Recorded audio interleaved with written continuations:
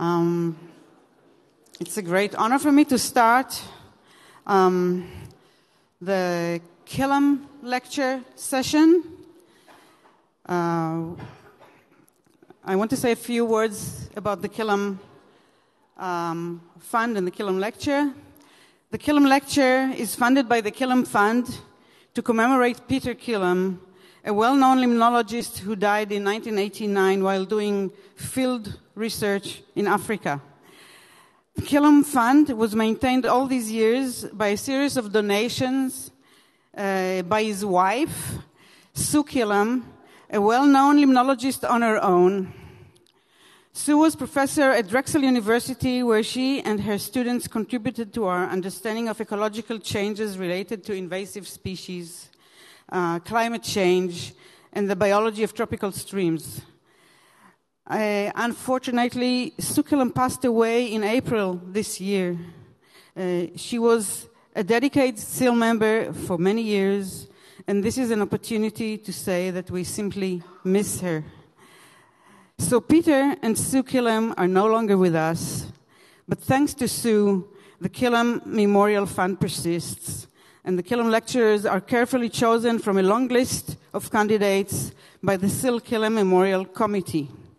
And it is a great honor to be elected as one of them. So it is a pleasure to be able to introduce to, the, to you today's Kilham lecturer, Dr. Susie Wood. And I want to say a few words about her. So Susie um, is in New Zealand. She completed her academic studies in Victoria University in Wellington. Um, she is a freshwater scientist and molecular ecologist based at the Cawthron Institute in Nelson, New Zealand. Her research is multidisciplinary and integrative with the overarching goal of improving knowledge on freshwater ecosystems. She is passionate about her research and about protecting aquatic ecosystems. Her areas of expertise include toxic cyanobacteria, phytoplankton ecology, and the development and application of molecular techniques to, mo- to monitor and understand aquatic system, um, and also paleolimnology. Susie is a co-program leader of a large project known as Our Lakes Health, Past, present, and future. This project aims to enrich knowledge on the environmental, societal, and cultural histories of New Zealand lakes, and I have some feedbacks that this is an amazing project. She is also a key researcher in a program called Eye on Lakes, National Monitoring of Cyanobacterial Blooms, which aims to develop remote sensing methods to enhance uh, cyanobacterial bloom management. Her recent research on benthic cyanobacteria is considered groundbreaking. She was twice in Antarctica to study uh, Antarctic microorganisms. In addition to being a great scientist, she's also a great sports person, a competitive cyclist that has represented New Zealand in the World Cup in 2006, and since then she's participated in many cycling and triathlon competitions. Uh, sports give us scientists additional tools to deal with stress, conflicts, deadlines, competition. All the above makes Susie an excellent role model, special uh, uh, role model, especially for young women scientists. And Susie, the floor is yours.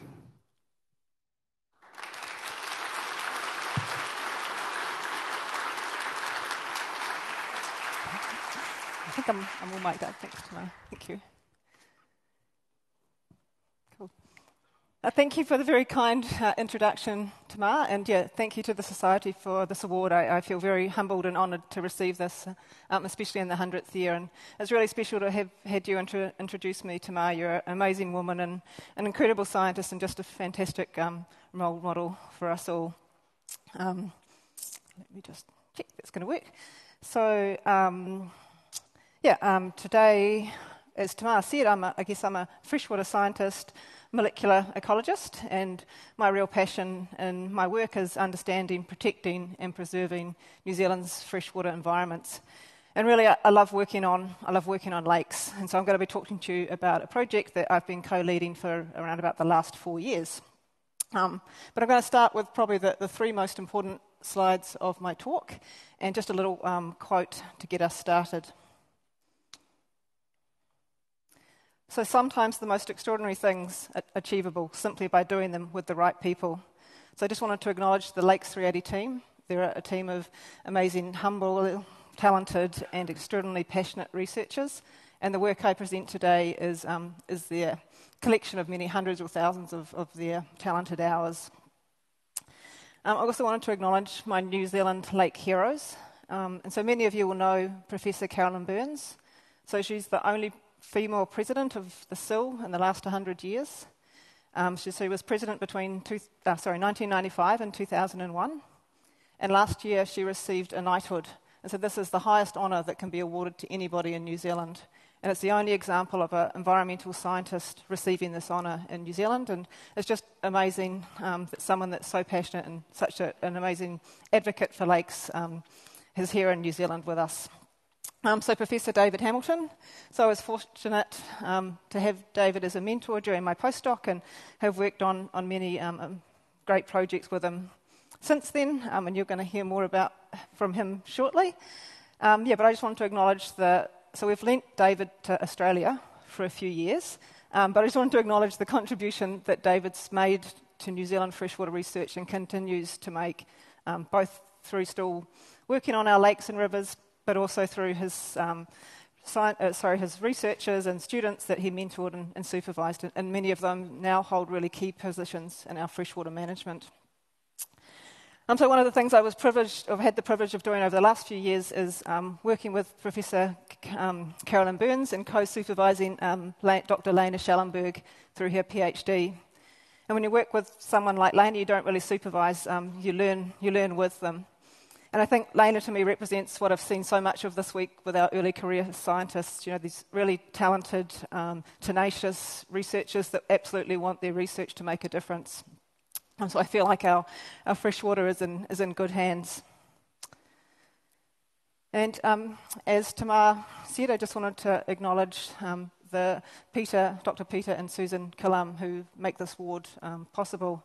And so when I heard I was receiving this award, it was a really nice journey for me to go on and to, to read more about their research and learn about their fantastic work, and particularly on um, the African lakes, and to find areas of, of common interest. So, in particular, around phytoplankton ecology and, and an interest in paleolimnology.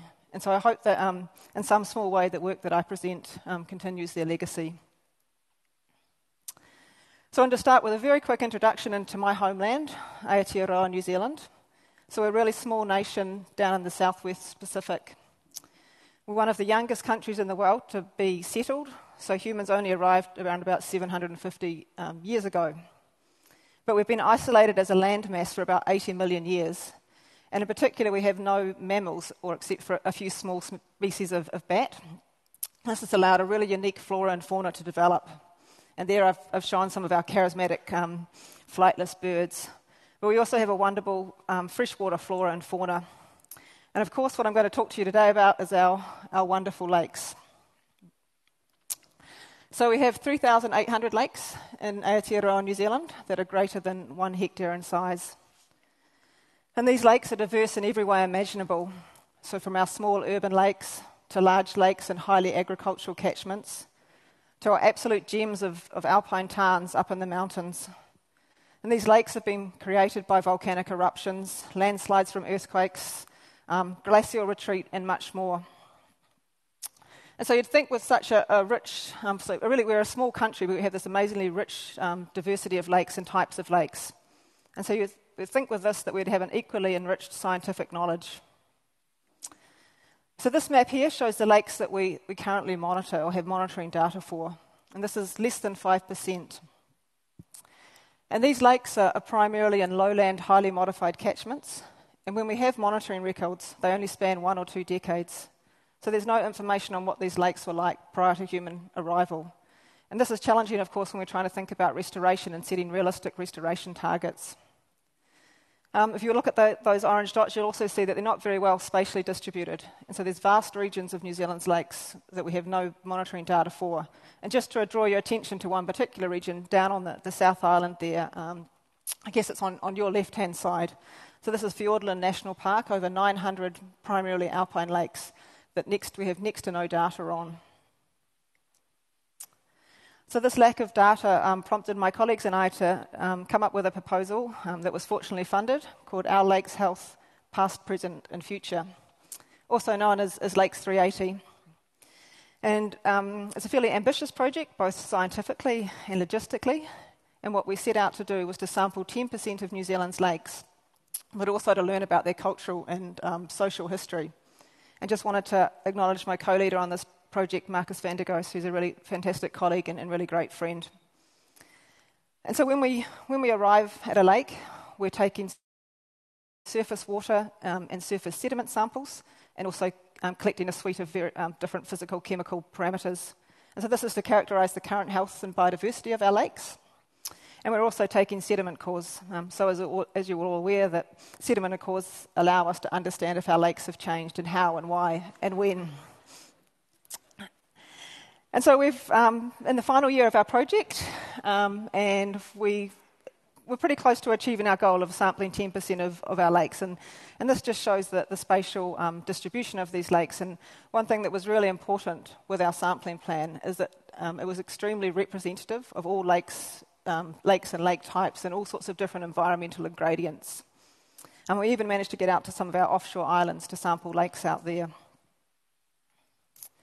And so we've generated literally hundreds of thousands of, of samples, and these are often being analysed at various different laboratories around the country.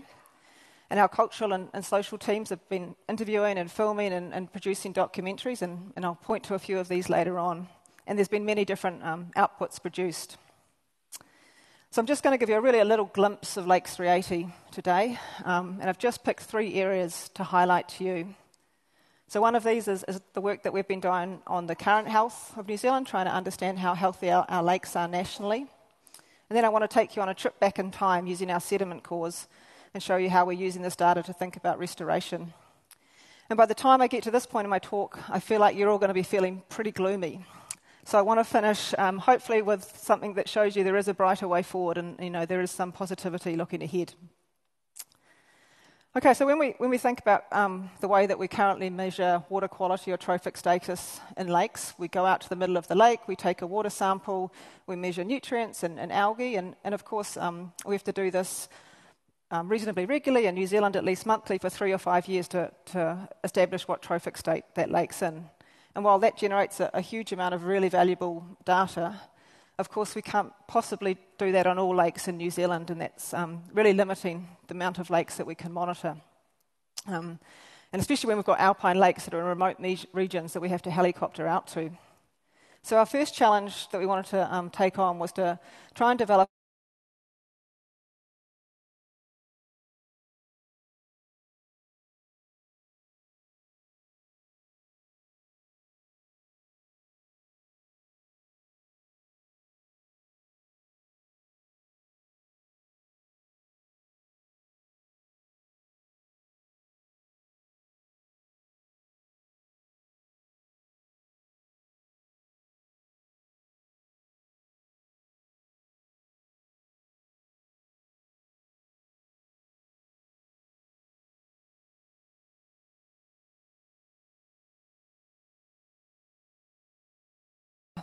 the lakes, the 300 lakes that we'd sampled, and start to get a really um, pretty nice picture of where the different lakes were distributed in New Zealand and their different trophic condition. And then we've wanted to take this further, and so we've used um, machine learning to now estimate the health of all lakes, or all 3,800 lakes in New Zealand. And remember, we're doing this now with a highly representative data set. So, this next figure here um, shows the, the health of our lakes and the distribution of those lakes across the country. And so, what we find is that 45% of our lakes are eutrophic or worse. Now, I, can, I, hear a few, hmm, I'm not sure what that means, whether people are, um, think that's good or bad, but um, I guess when I've been presenting this or talking to people about this in New Zealand um, the last month or so, I've been really surprised that no one seems too alarmed at this number, and uh, perhaps it's above, we've above 50%, so we're not too worried. So this is really alarming to me, and I've wanted to think about how I could show this data in a different way to really show that our lakes are at crisis point. So what I've done now is, is taken that data and grouped it by region. So in New Zealand, we have 16 regional management units, if you like, regional organisations that manage the environment. what we see when we group the data like this, is if you're in the North Island, 80% of our lakes are in poor or worse condition, so eutrophic or worse. And this is largely, of course, related to the, the higher levels of agriculture and land use in the North Island. But if we zoom in even further into some of those regions, it's actually over 90%. And if we stop and think about what that means, it's that, you know, one in ten, only one in ten lakes that we visit are going to be in a good condition, and almost certainly during summer, those other nine lakes are going to have cyanobacterial blooms, not be safe for swimming, harvesting food, or, or you know, the impacts on our aquatic organisms are going to be very substantial. But I don't think New Zealanders have, have quite grasped what this means and really the challenges that lie ahead for us. So, just to, to show you this, what I've done now is zoom in on one region in New Zealand, um, the Manawatu Whanganui region.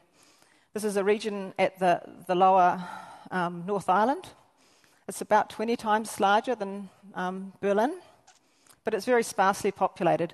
So there's lot of, not a lot of money for uh, restoration or freshwater restoration.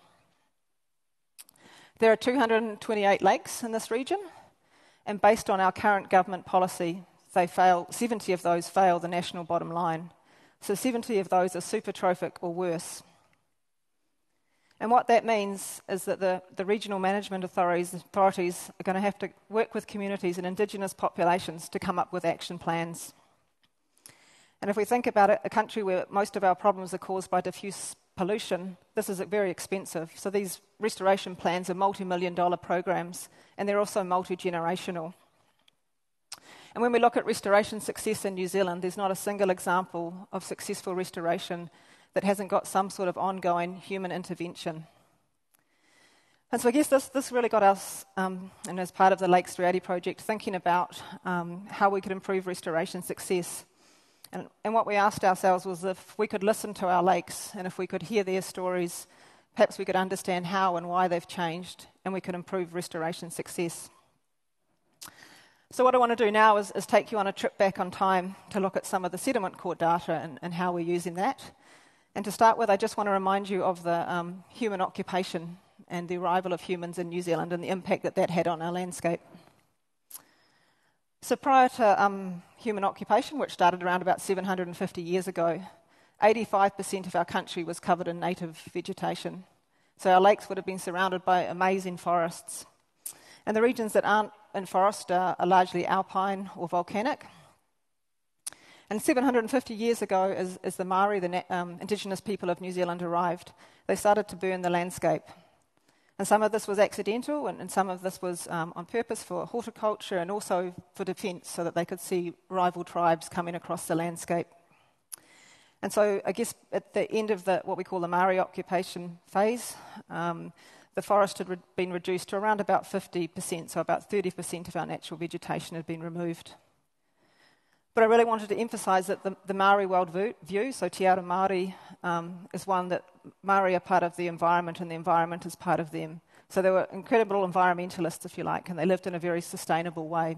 So while undoubtedly they had um, some impact on our, our freshwaters, it was relatively min- minimal. okay, so around 200 years ago, Europeans arrive in New Zealand and they, they continue the burning and they also log more of our forests um, as part of a native timber trade. And if we look at how much vegetation or native forest left now, it's around about 25%. But we didn't stop there. Of course, we built houses and cities and we replaced our native forests with pine plantations and we introduced um, perch and trout and rudd and all sorts of other um, non native fish to make our, our freshwater systems more like um, Britain and Europe. And then more recently, um, land use has intensified, and in particular, that, um, started to fertilise our, our catchments. So I just want to keep that, you to keep that in mind because I'm going to be referring to those, those three phases as I go through the next few slides. Okay, so the first lake I want to take you to is Lake Pounui. It's a small lake at the bottom of, of the um, North Island.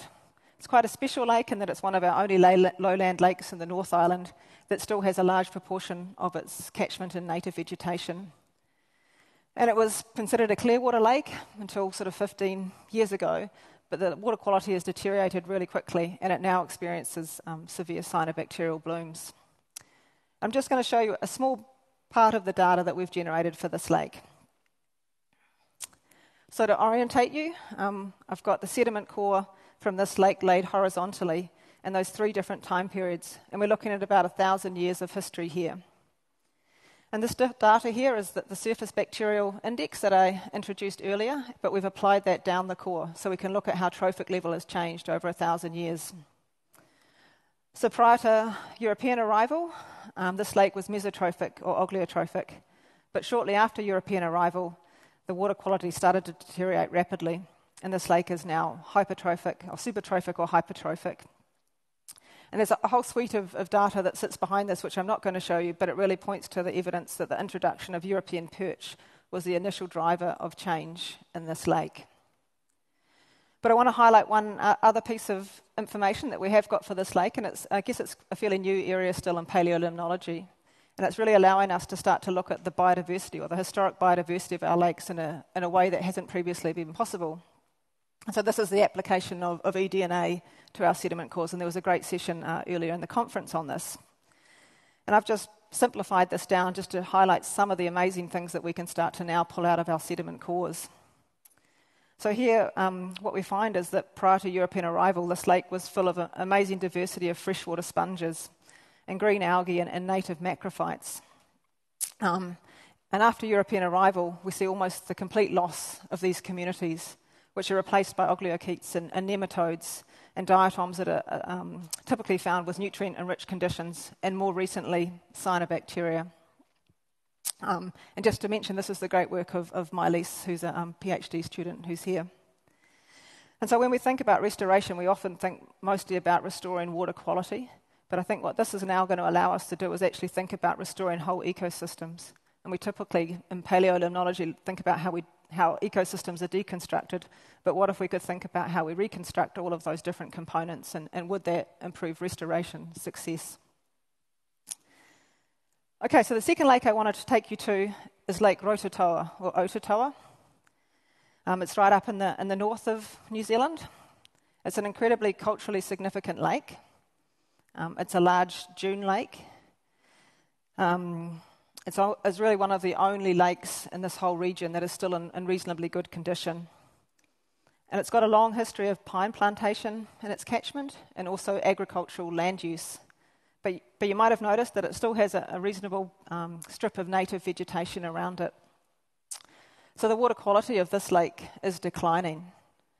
And the, the regional managers asked us to try and establish what was the drivers of this, and, and they really believed it was introduced fish that was the key, um, the key starter or the initiation of, of water to quality decline. So when we look at our data, um, just to orientate you again, we've got the, the sediment core laying horizontally, and I'm just, I've just pulled out the European period for this slide. And I've le- selected three of the different proxies that we use. So one are diatom communities, the other our bacterial communities, and then chlorophyll A is measured by um, HPLC. And so those top two are multivariate data. So we've used a principal response curve to bring that down to univariate data. And these are um, general, general, or GAMS, sorry, GAMS plots. And so when you see a, um, an increase, uh, sorry, when you see a blue or red line, that represents a significant change in that proxy.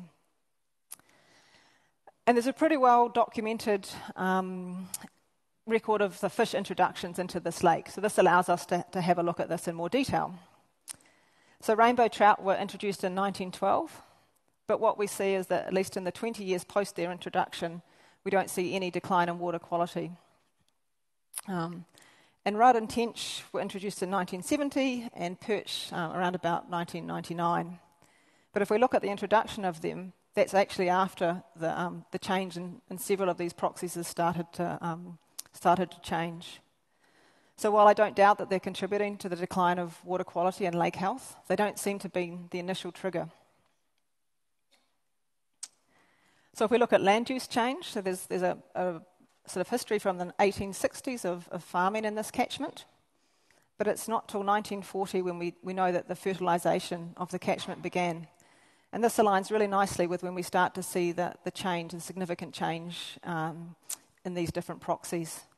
And in 1974, pine plantation started, and they started to fertilise uh, with nitrogen enriched fertiliser.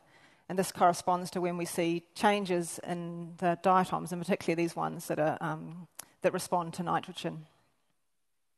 So, fairly compelling evidence that at least the initial trigger for changes in this lake were caused by nitrogen and phosphorus fertilisation.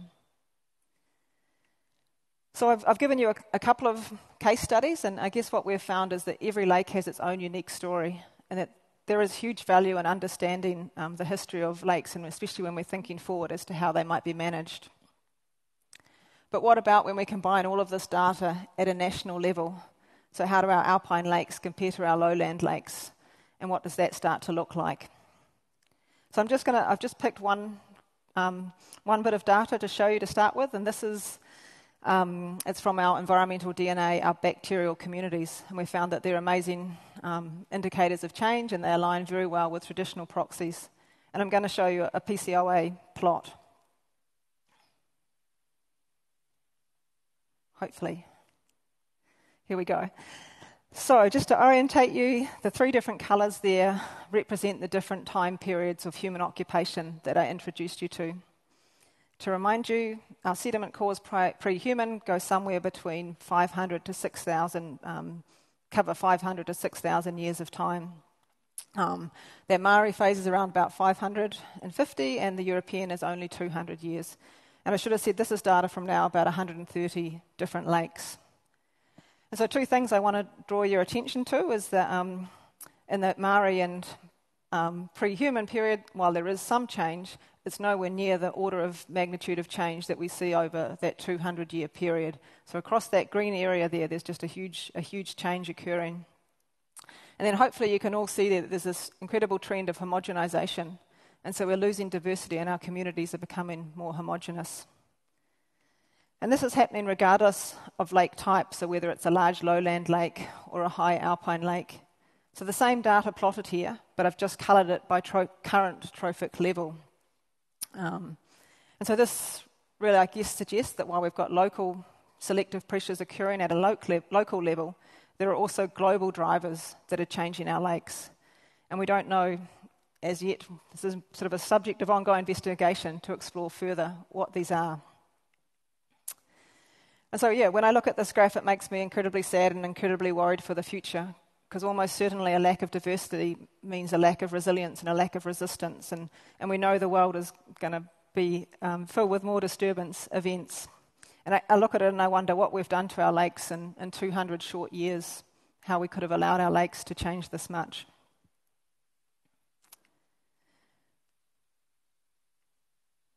Okay, so that's the end of the gloom. I promised I was going to finish with a brighter note. So I think one of the things we thought about this project that would be such a privilege, and it, was to go and work with these lakes and to visit these lakes. It was an absolute amazing opportunity to see such an amazing array of lakes. But what was equally um, as rewarding and significant and important was the people that we met that had long associations or incredibly passionate about these lakes. And that includes both our Indigenous people and, and many of the community groups and they had this real hunger for knowledge and a real sense of wanting to make a difference. And so this has become a really important part of this project. And, and here's some images from knowledge sharing days that we held um, in each of the regions or each of the lakes that we went to. And so I just wanted to highlight a couple of ways that um, we've been working with, with these people um, and working with communities to um, yeah, to, to educate and to, to change. And I guess if we think about how we're going to change our lakes in New Zealand, we actually need to bring people with us and change societal attitudes as well. So, mata, Mātauranga Māori, or Indigenous knowledge. Um, so, Māori have a long association and affiliation with our lakes. And we were really fortunate to work with four iwi, or, or tribes, in different regions of New Zealand and develop relationships and learn about. Um, their affiliations, their associations with the lakes, and their, their knowledge. And then we were trying to think of ways to, um, I guess, to, to allow other people an insight into this and, and also to weave the different knowledge streams. So, to weave Indigenous knowledge with our biophysical data. And so, one way we've done that is through a digital storytelling, um, digital storytelling portal and so on that website there, there's um, sort of 30 or 40 documentaries and short films that capture these different um, knowledges and also some of the weaving of knowledges that we've been doing. So the other space that we've been thinking a lot about is science communication. And so I just picked out one example to show you. Um, and this example was um, carried out in collaboration with Ngāti Kawata, who are an Indigenous community, and our Department of Conservation. And really importantly, it weaves these different knowledge streams. So it's a, it's a virtual reality platform and allows users to travel backwards and forwards in time and see how the impacts on the landscape have also affected the lake. And very importantly, it also allows us to visualize the future. So I've just got a very short um, video to, to show you um, this. So we're starting um, in the present day world, and you can just see that the catchment has been um, deforested essentially. And if we dive down under the water, you'll see that it's a completely barren life, um, landscape, nearly devoid of all life. But if we're now to go back a thousand years in time, before any humans arrived in this, we just see what an absolute gem of a place it would have been and absolutely how beautiful it was. And if you dive down under the water, you'll see that it's absolutely teeming with life. Um, a huge number of native fish and native vegetation. And then we come forward to when Māori occupied, occupied this region, and we've captured the, um, the, knowledge, the indigenous knowledge, by talking to the local tribe um, through videos and also through touch points, which allow you to understand more about the cultural and biological um, history of this lake. And here we're looking at the, the 100 year vision for this lake so this is Ngāti Kawata's 100-year vision. And I think this is, this is incredibly important because many of the people involved in the restoration will not be around to see, see what this lake looks like by the time it's healthy. So if we allow them to, to visualize this, you know, it helps inspire them um, in, the, in the path of restoration. Cool, so a brighter future. Um, yeah, so I, I don't pretend to have any answers about what a brighter future looks like, but yeah, certainly when I look around this audience, I know that many of you have the pieces of the puzzle, or many pieces of the puzzle. Um, so, yeah, I just wanted to finish. We have a whakatauki or proverb um, for Lakes 380. Um, so, mihoki whakamuri ki hari whakamawa. So, current and future activities should be guided by lessons from the past. And while you sit and contemplate that for a moment, I've got a, a short video that just shows some of the adventures that we had as part of Lakes 380.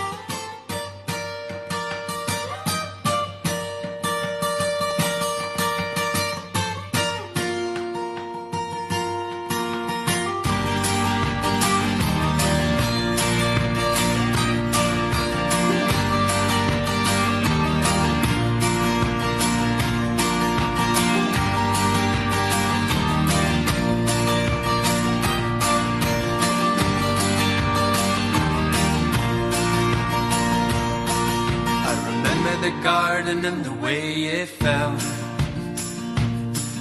I remember the grass and the way it smelled.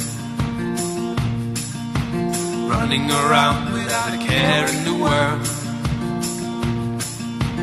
So much to live for, so much to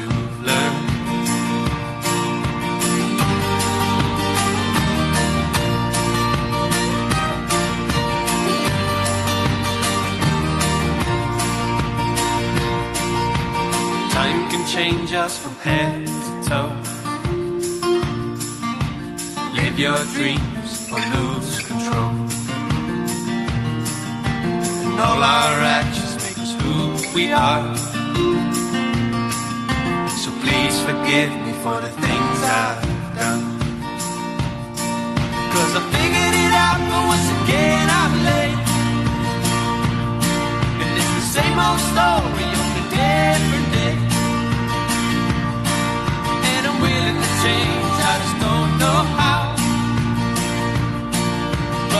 rock bottom, so I start by.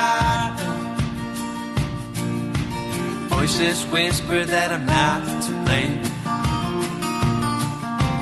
They say everyone's afraid of change. Sounds to me like they've given up. But they don't know the heart I've got.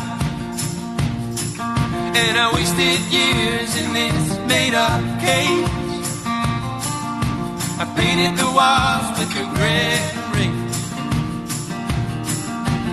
Know exactly what I have to do. Now that I found my way back to you. Well, I figured it out, but once again I'm late. And it's the same old story, you're change, I just don't know how. But I hit rock bottom, so I start right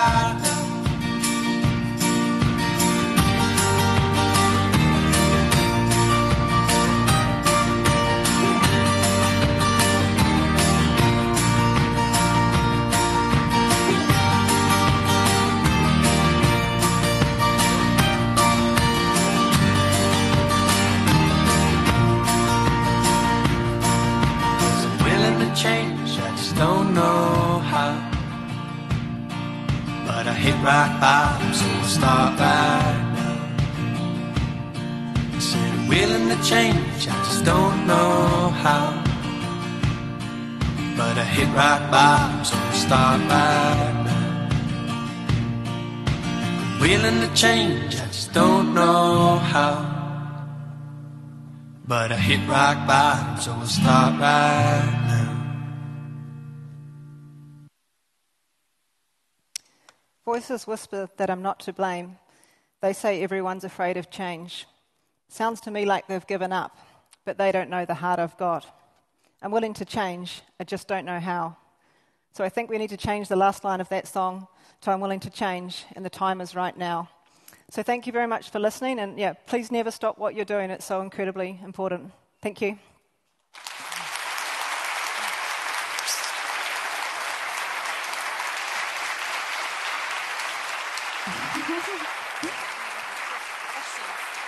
Oh.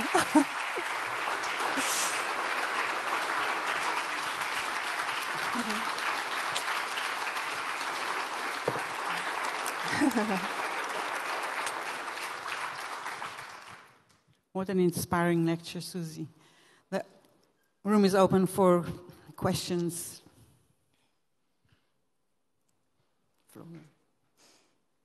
Yes, over there.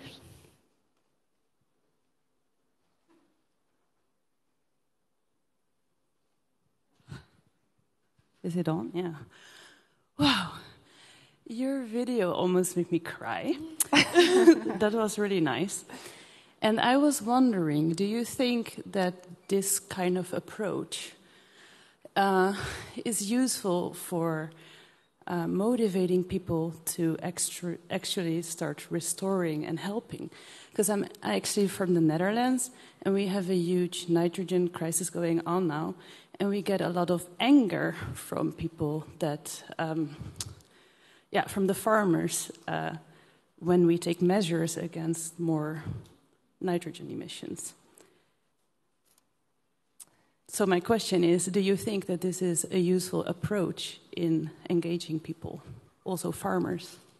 Yeah, absolutely. Um, we need to bring people with us on these journeys if we're going to successfully restore our lakes. And, you know, part, a big part of our project was actually getting permission to access these lakes. And so we had very similar conversations with the farmers, the landowners, because they were often nervous that we were coming to sample their lake to blame them.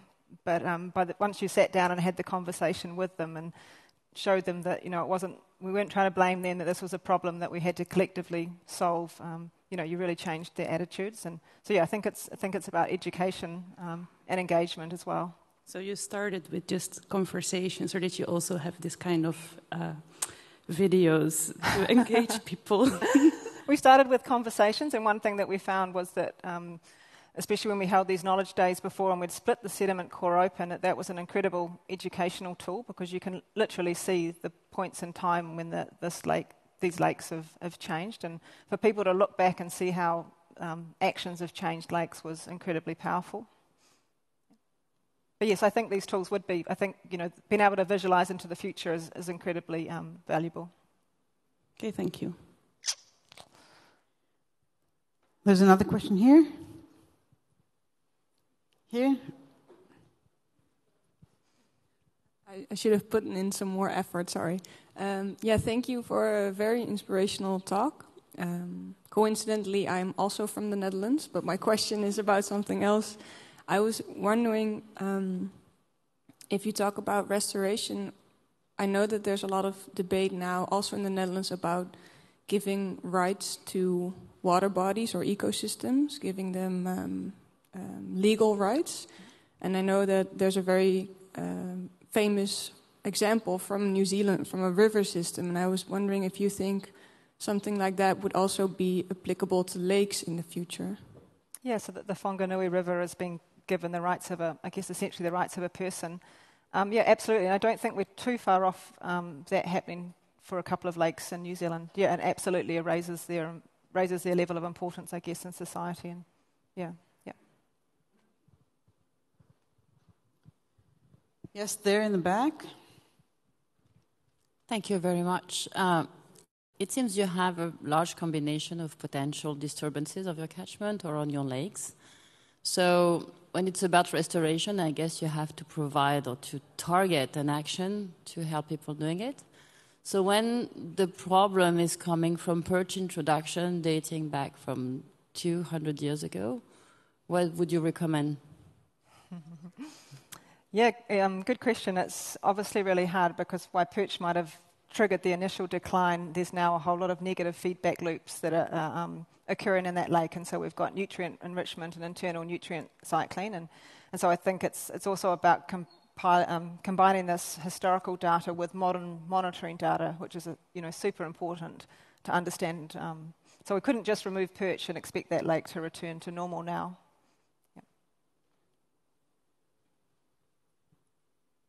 Yes, go ahead. Oh. Yeah, you can be next. Thank you. Um, as for the first uh, question here, I was also very touched by this video. I felt like crying almost. So thank you for really providing also inspiration for our hearts and not only for our brains. My question is about nitrogen fertilization of forests and the future concerning bioeconomic development to substitute fossil fuels with renewable resources for food and fodder and fiber and biofuels. Um, we have a great pressure now in Europe to go in that direction, and I'm asking whether it's the same in the New Zealand and how you would see that um, development affecting the lakes and whether you see some hope that we can counteract the possible negative effects of forest fertilization mm-hmm. on our lands. Yeah, so that there is similar sort of moves afoot in New Zealand. There's also some really, um, I think, inspiring moves in place. And so one, one that I heard of recently was um, uh, a movement to if we were to, if we could invest in removing predators. So in New Zealand, um, we have a lot of browsers that have come in and, and removed native understory vegetation. And actually, if we could remove those browsers and, and, let that native vegetation come back, then there might be an opportunity to get carbon credits for that. So I think we're starting to um, think in new, new and innovative ways in that space, which could have really positive conservation um, effects as well. But yeah, absolutely a, something to think about and concerns. Yeah. Okay, I think this is going to be the last question on your right. Uh, my question also goes towards restoration, although I'm not from the Netherlands. um, it, it, it, you, you, you didn't say it explicitly, but it sounded as if the basic concept is when you turn back deforestation and replant forest that you get the lakes healthy. Is that right? Or and what is the potential you think you can achieve, given the fact that, of course, land use is also under conflict? Say the farmers, of course, want to farm and so on. So yeah, restoration is by no means that that simple. It's not not anywhere near as simple as um, reforesting the catchments and um, of course, there's a legacy of, of, nutrients in many of these lakes, and there's also invasive species. And so, yeah, restoration is, is incredibly complex and multi. You know, this is why we talk about multi generational projects. And so, we learn from the past, but we also need current monitoring data and, and many of the other tools that people have talked about here to actually successfully plan um, restoration projects. Thank you very much, Susie. Thank you very much, everybody.